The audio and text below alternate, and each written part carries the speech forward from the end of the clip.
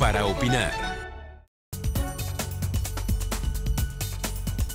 Ricardo Ravelo cree que de ser extraditado a México, César Duarte se convertirá en un personaje clave para desenredar los desvíos de dinero público que fueron fondeados en el PRI para financiar campañas políticas. El beneficio de la duda se le otorga a la actual administración, aunque siempre cabe la posibilidad que todos estos casos trascendentes terminen en una indigna irrisión. Para opinar.